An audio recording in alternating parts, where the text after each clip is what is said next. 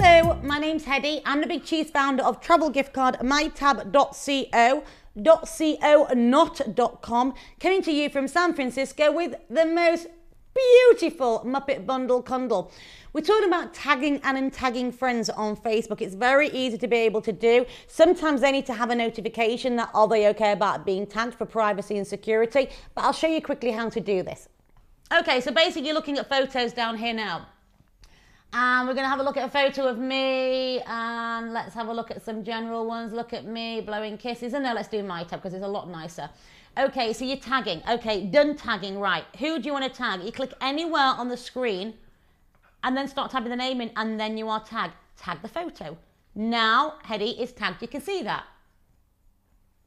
So now we're going to go over and you're going to go and have a look down here now. And let's go back to this A because I was slightly messing around. It will show up on Hedy, the real Hedy's notifications where I just showed you to the left.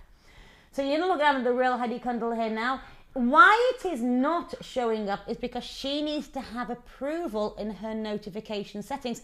I agree that I want to be tagged under the, the My Tab logo.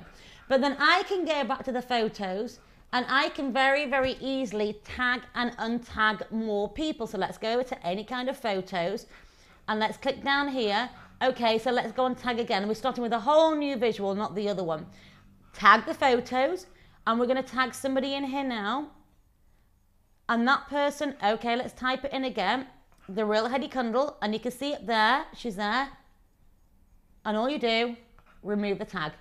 See how it used to work is that you could tag people randomly and then they started freaking out saying, You tagged me in the worst photo when I'm like, ah!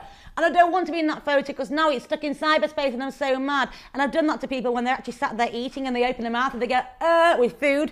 And I take a photo and I'm like, that was so funny. I'm going to post that on Facebook and I'm going to tag you. Now they need the permission to be able to do this. Things have tightened up and it makes sense. That actually would be logical. But to tag it, you can see it on the right hand side where their name is and then all you do is click on their name untag and you're done.